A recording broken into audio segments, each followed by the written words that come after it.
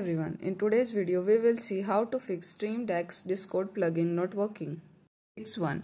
Run as administrator. Run Stream Deck as administrator.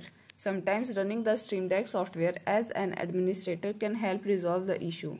To do this, right click on the Stream Deck uh, software icon and select Run as administrator.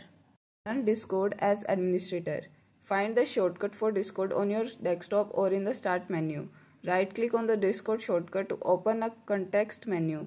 In the context menu, select the option that says Run as Administrator. If prompted by the User Accounts Control, click Yes to confirm running Discord as an administrator. Fix 2. Reinstall the Discord plugin. Open the Stream Deck, go to the Manage Plugins section and uninstall the Discord plugin.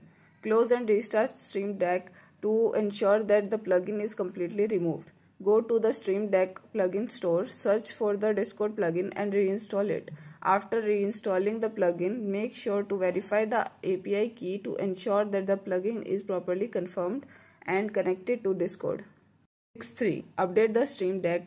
Launch the Stream Deck software on your computer. If a firmware update is available, the software will prompt you to update your device. Follow the on-screen instruction to complete the update process. If the software does not automatically detect an update, you can manually check for updates by clicking on settings at the top right of the software interface and select check for updates. If an update is available, follow the on-screen instruction to download and install the update.